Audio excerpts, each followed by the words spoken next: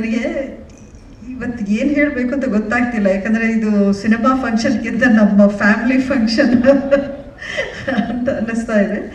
ಮೊದಲನೇ ಏನೋ ನಾವು ಇಷ್ಟೊಂದು ಜನ ಫ್ಯಾಮಿಲಿ ಮೆಂಬರ್ಸ್ ಒಂದೇ ವೇದಿಕೆಯನ್ನು ಹಂಚ್ಕೊಂಡಿದ್ದೀವಿ. ಇದು ನಮ್ಗೆ ಅಭ್ಯಾಸ ಇಲ್ಲ ಸ್ವಲ್ಪ. ಯಾಕೆಂದರೆ ಯಾವತ್ತೂ ಒಂದು ವಿಷಯ ಅಂತೂ ಹೇಳಲೇಬೇಕು. ಅಂಬರೀಷ್ ಅವರ ಕುಟುಂಬದಲ್ಲಿ ಮೊದಲು ಅಂದರೆ ಈ ಈ ಒಂದು ಆರ್ಟ್ಸ್ ಅಥವಾ ಕಲೆ ಅಂತ ಈ ಕಲಾರಂಗದಲ್ಲಿ ಬಂದಿತ್ತು. ಅಂಬರೀಷ್ ಅವರ ತಾತ ಟಿ ಚೌಡಯ್ಯನವರು. ಅವರ ಒಂದು ಹೆಸರು ಅವರೇನು ಗಳಿಸಿದ್ರು? ಅವರ ಒಂದು ಟ್ಯಾಲೆಂಟ್ ಏನಿತ್ತು?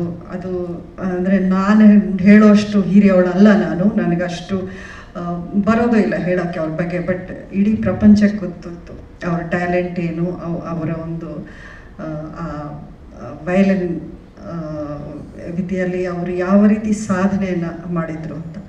ಅದ ನಂತರ ಅಂಬರೀಷ್ ಅವ್ರು ಬಂದಿದ್ದರು ಬೇರೆ ಕ್ಷೇತ್ರ ಆದ್ರೂ ಆರ್ಟ್ಗೆ ಸಂಬಂಧಪಟ್ಟ ಸಿನಿಮಾ ಕ್ಷೇತ್ರಕ್ಕೆ ಅಂಬರೀಷ್ ಅವ್ರು ಬಂದಿದ್ದರು ಅದಾದಮೇಲೆ ನಮ್ಮ ಅಭಿ. ಈಗ ನಮ್ಮ ಕುಟುಂಬದಿಂದ ಇನ್ನೊಬ್ಬ ಅಭಿ. ಇದೇ ಒಂಥರ ಫನಿ ಆಗಿದೆ. ಒಂದೇ ಕುಟುಂಬದಿಂದ ಇಬ್ಬರು ಅಭಿಷೇಕ್ ಕನ್ನಡ ಚಿತ್ರರಂಗದಲ್ಲಿ ಬರ್ತಾ ಇರೋದು. ಅದಕ್ಕೆ ಕನ್ಫ್ಯೂಷನ್ ಇಲ್ಲದೆ ಇರೋಕ್ಕೆ ಅವನ ಬಗ್ಗೆ ನಾನು ಸಿ ಕೆ ಅಂತಲೇ ಹೇಳ್ತೀನಿ. ಏನಕ್ಕೆ ನಾನು ಚೌಡಯ್ಯನವ್ರ ಬಗ್ಗೆ, ಅಂಬರೀಷ್ ಅವ್ರ ಬಗ್ಗೆ ಪ್ರಸ್ತಾಪಿಸಿದ್ದು ಅಂದರೆ, ಚೌಡಯ್ಯನವರು ಎಷ್ಟೇ ಫೇಮಸ್ ಇದ್ದರು ಅವರು ಅಂದರೆ ಯಾವತ್ತೂ ಕುಟುಂಬದ ಮೆಂಬರ್ಸ್ನಾಗಲಿ ಇನ್ನೊಂದು ರೀತಿಯಲ್ಲಿ ಅವರೇನು ಪ್ರಮೋಟ್ ಮಾಡಿಲ್ಲ.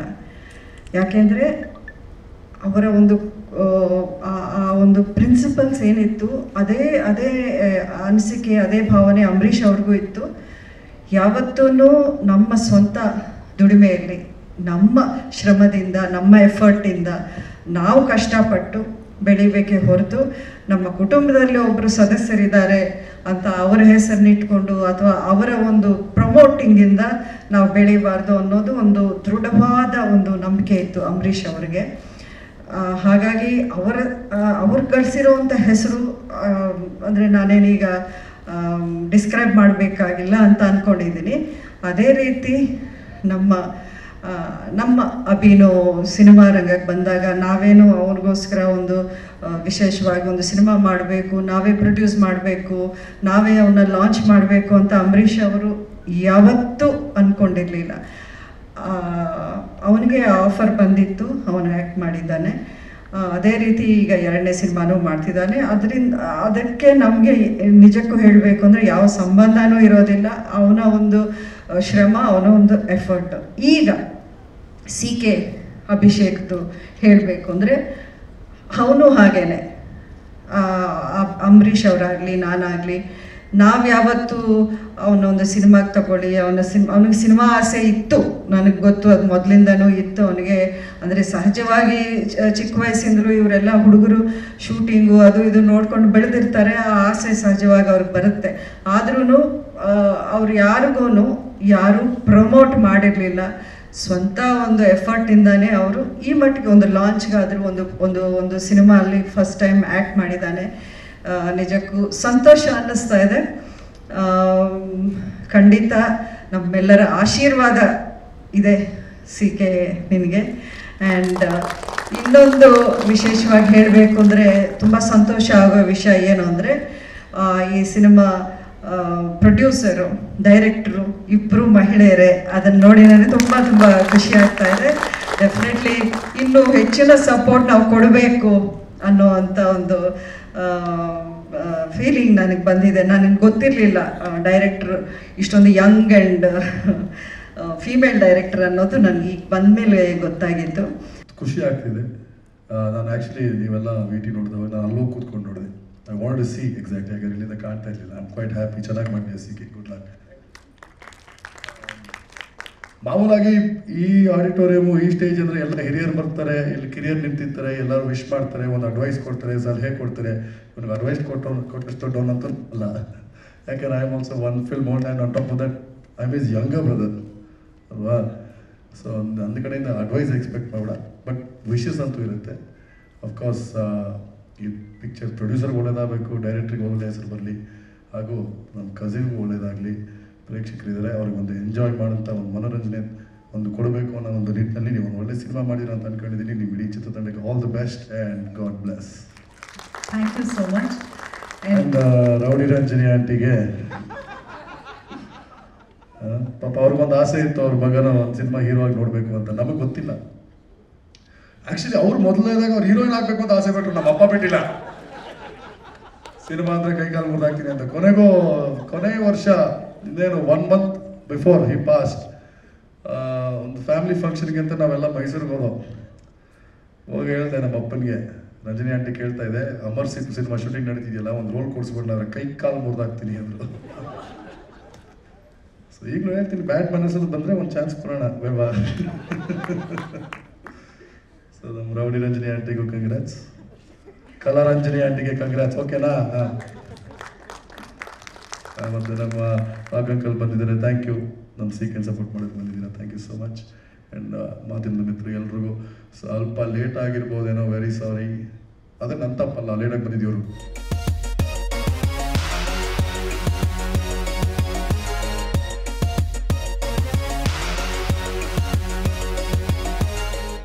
ಚಿತ್ರದ ಕಾರ್ಯಕ್ರಮಕ್ಕೆ ಬಂದಿರುವಂಥ ಎಲ್ಲ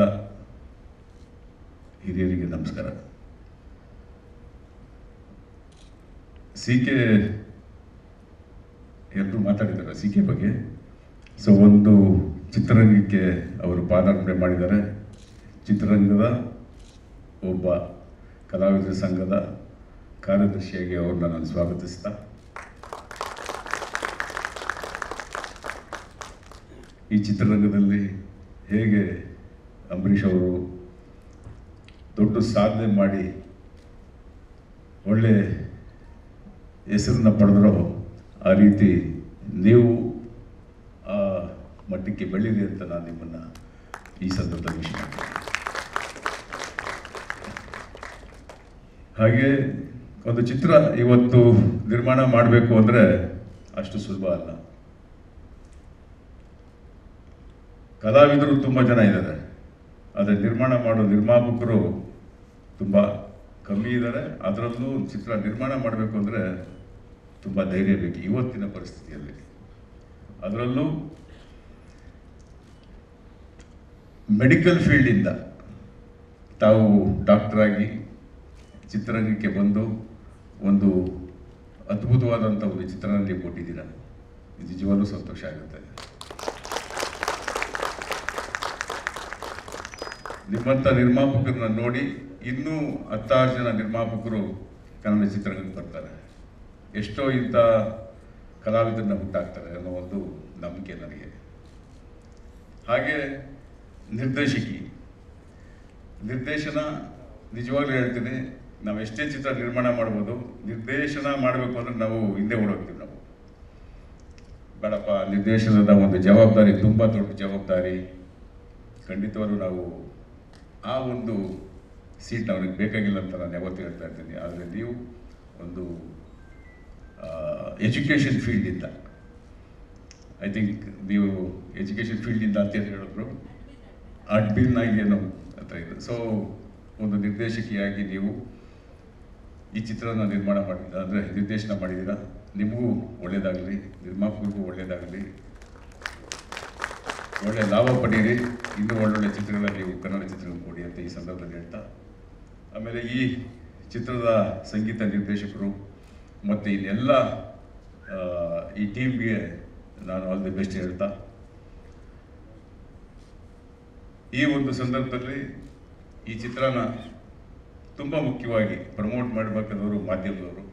ಸೊ ಮಾಧ್ಯಮದವ್ರಿಗೂ ನಾನು ಈ ಸಂದರ್ಭದಲ್ಲಿ ನಾನು ರಿಕ್ವೆಸ್ಟ್ ಮಾಡ್ಕೋತೀನಿ ಈ ಚಿತ್ರನ. ಆದಷ್ಟು ಪ್ರಮೋಟ್ ಮಾಡಿ. ಆ್ಯಕ್ಚುಲಿ ನನಗೆ ಏನು ಹೇಳಬೇಕು ಗೊತ್ತಾಗ್ತಿಲ್ಲ. ತುಂಬ ಖುಷಿ ಆಗ್ತಿದೆ. ಆ್ಯಕ್ಚುಲಿ ಇವ್ರು ನಮ್ಮ ಮೂವಿಗೆ ಬಂದಿರೋದು ನಮ್ಗೆ ನಿರ್ಮುಕ್ತ ಟೀಮ್ಗೆ ಒಂದು ಹೆಮ್ಮೆ ಗರಿ ಅಂತಲೇ ಹೇಳ್ಬೋದು. ಒಂದು ಸ್ಟ್ರೆಂತ್ ಸಿಕ್ಕಿರೋ ಹಾಗಿದೆ.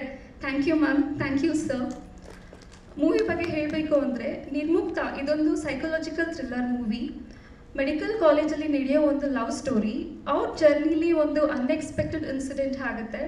ಪ್ರಾಬ್ಲಮ್ಸ್ ಫೇಸ್ ಮಾಡ್ತಾರೆ. ಅದರಿಂದ ಅವ್ರು ಹೇಗೆ ಹೊರಗೆ ಬರ್ತಾರೆ ಅನ್ನೋದೇ ಈ ಮೂವಿ ಮೂವಿ ಅದ್ಭುತವಾಗಿ ಬಂದಿದೆ. ಮೂವಿಲಿ ಹ್ಯಾಕ್ಟ್ ಮಾಡಿರೋ ಎಲ್ಲ ನಟ ನಟಿರಿಗೂ ಅಭಿಷೇಕ್ ಅವ್ರಿಗೂ, ನವ್ಯ ಪೂಜಾರಿ ಅವರಿಗೂ ಧನ್ಯವಾದಗಳು ಹೇಳ್ತೇನೆ. ಹಾಗೂ ಟೆಕ್ನಿಕಲ್ ಟೀಮ್ ಎಲ್ಲರಿಗೂ ಧನ್ಯವಾದಗಳು. ಮೂವಿಗೆ ಅದ್ಭುತವಾದ ಸಾಂಗ್ಸ್ ಕೊಟ್ಟಿರೋ ಸಾಮ್ರಾಟ್, ತುಂಬ ಥ್ಯಾಂಕ್ಸ್ ಹಾಗೂ ಲಿರಿಕ್ಸ್ ಬರೆದಿರೋ ಸ್ವಾಮಿ ಸರ್ಗೂ ತುಂಬ thanks so last but not least I thank my husband doctor Srinivas for supporting and encouraging me ಅವರಿಂದ ನಾನು ಇಲ್ಲಿ ನಿಂತಿದ್ದೀನಿ ಅಂತಲೇ ಹೇಳ್ಬೋದು. ಥ್ಯಾಂಕ್ ಯು ಸೋ ಮಚ್ ದಯವಿಟ್ಟು ಎಲ್ಲರೂ ನಿರ್ಮುಕ್ತ ಮೂವಿ ನೋಡಿ, ಹೊಸ ಪ್ರತಿಭೆಗಳಿಗೆ ಪ್ರೋತ್ಸಾಹ ನೀಡಿ, ಇನ್ನೂ ಹೆಚ್ಚು ಹೆಚ್ಚು ಮೂವಿ ಮಾಡೋದಕ್ಕೆ ಅವಕಾಶ ಮಾಡಿಕೊಡಿ ಅಂತ ಕೇಳ್ಕೊಳ್ತೀನಿ. ಧನ್ಯವಾದಗಳು. ನಾನು ಪ್ರೊಡ್ಯೂಸರ್ ಆಗಿ ನಿಮ್ಮ ಮೇಲೆ full depend ಆಗ್ಬಿಟ್ಟಿದ್ದೀನಿ. Thank you Sumalatha ma'am for coming okay ನಾನು ಸುಮಲತಾ ಮ್ಯಾಮ್ ಮನೆಗೆ ಹೋಗಿ ಅವ್ರನ್ನ ಇನ್ವೈಟ್ ಮಾಡಿದ ತಕ್ಷಣ ಅವ್ರು ಹೆಣ್ಮಕ್ಳು ಮಾಡ್ತಾ ಇದ್ದಾರೆ ಅನ್ನೋ ಒಂದೇ ಒಂದು ಕಾರಣಕ್ಕೆ ಅಂತಲ್ಲ. But she was so sweet ನಾವು ಎಕ್ಸ್ಪೆಕ್ಟ್ ಮಾಡಿರಲಿಲ್ಲ ದಟ್ ನಾನು ಇಷ್ಟು ಕಂಫರ್ಟಬಲ್ ಆಗಿರ್ತೀನಿ ಅವ್ರ ಮನೆಯಲ್ಲಿ ಅಂತ ಹೇಳ್ಬಿಟ್ಟು. ಶಿ ವಾಸ್ ಸೋ ಸ್ವೀಟ್ ಹಾಡು ಬರೆದಿದ್ದು ಒಂದು ಸ್ಫೂರ್ತಿಯಿಂದ ಸಾಮ್ರಾಟ್ ರೂಮ್ಗೆ ಹೋದಾಗೆಲ್ಲ ಒಂದು ಟ್ಯೂನ್ ಕೊಡೋರು. ಸರ್, ಇದು ಬರೆಯೋಕ್ಕಾಗತ್ತಾ ಅಂತ ನಾನು ವಿತಿನ್ ಹಾಫ್ ಆನ್ ಅವರ್ ಬರೆದು ಕಳಿಸ್ತಿದ್ದೆ. ಮೋಸ್ಟ್ ಆಫ್ ನಾನು ಹಾಡು ಬರೆಯೋದು ನನ್ನ ಪ್ರಿಸ್ಕ್ರಿಪ್ಷನ್ಸಲ್ಲಿ ನನ್ನ ಪ್ರಿಸ್ಕ್ರಿಪ್ಷನ್ ಹಿಂದೆ ಎಲ್ಲ ಹಾಡುಗಳಿರ್ತವೆ. ಚಿಕ್ಕ ಚಿಕ್ಕ ಲೈನ್ಸ್ ಬರೀತಾ ಇದ್ದೆ. ಏನೋ ದೇವರ ಇಚ್ಛೆ ನಮಗೆ ಒಂದು ಸಿನಿಮಾ ಮಾಡೋದಕ್ಕೊಂದು ಅವಕಾಶ ಬಂತು. ನಮ್ಮ ಅಭಿಷೇಕ್ ಅವರು ಸಿ ಕೆ ಅವರು ಅಭಿನಯಿಸಿ ಚೆನ್ನಾಗಿ ಕೋಆಪ್ರೇಟ್ ಮಾಡಿ ನಮಗೆ ಜರ್ನಿಯಲ್ಲಿ ತುಂಬ ಚೆನ್ನಾಗಿದ್ದರು ಮತ್ತು ನಮ್ಮ ಅಭಿಷೇಕ್ ಸರ್ಗೆ, ಅವರ ಸಿನಿಮಾ ಬ್ಯಾಡ್ ಮ್ಯಾನರ್ಸ್ಗೆ ನಮ್ಮ ಕಡೆಯಿಂದ ತುಂಬ ಹೃದಯಪೂರ್ವಕವಾದ ಒಂದು ಇದನ್ನು ಕೇಳ್ತಾರೆ ಸೊ, ನಾವು ಕಷ್ಟಪಟ್ಟು ಇದು ನಿರ್ಮುಕ್ತ ಅಂತ ಫಿಲಮ್ ಮಾಡಿದ್ದೀವಿ. ಸೊ, ನೀವೆಲ್ಲರೂ ಪ್ರೋತ್ಸಾಹಿಸಿ, ಬೆಳೆಸ್ಬೇಕಂತ ಕೇಳ್ಕೊತೀನಿ. ನನ್ನ ಪಾತ ಬಂದು medical student psychological movie so sober character silent so ಎಲ್ಲರೂ ನೋಡಿ ಬೆಳೆಸ್ಬೇಕಂತ ಕೇಳ್ಕೊತೀನಿ ಮಾತನ್ನು ಅವ್ರಿಗೂ ಕೇಳ್ಕೊತೀನಿ ನನ್ನ ಬೆಳೆಸ್ಬೇಕು ಅಂತ. ನನ್ನ ಮಗ ಸಿ ಕೆ ಅಭಿಷೇಕಿನ ಮೊದಲ ಚೊಚ್ಚಲ ಚಿತ್ರವನ್ನ ನೀವೆಲ್ಲ ಚಿತ್ರಮಂದಿರದಲ್ಲೇ ವೀಕ್ಷಿಸಿ, ಅವನ್ನ ಉಳಿಸಿ ಕನ್ನಡ ಚಿತ್ರರಂಗವನ್ನ ಬೆಳೆಸಿ ಅಂತ ಕೇಳ್ಕೊಳ್ತೀನಿ.